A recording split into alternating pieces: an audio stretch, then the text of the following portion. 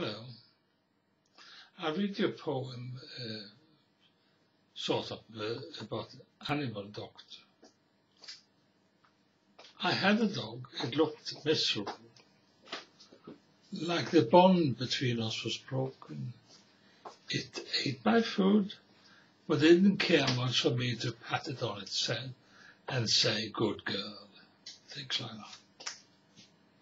It to an animal psychiatrist who wanted to be alone with the dog to cure it.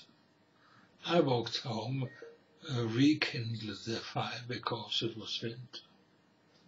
A knock on my door, my daughter had left her friend and now she moved into my home getting stroppy and she didn't like dog hair on sofas. After two years she left, had found someone else to subjugate.